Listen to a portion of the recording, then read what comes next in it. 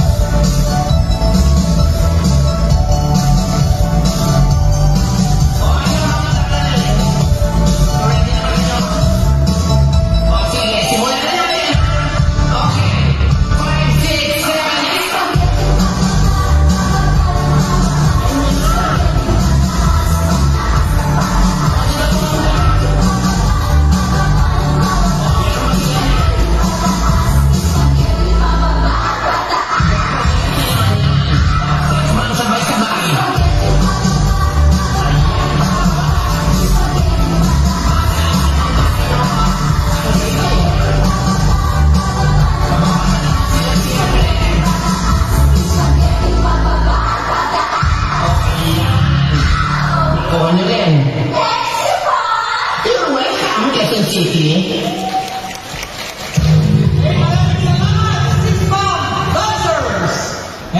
Kita ka mga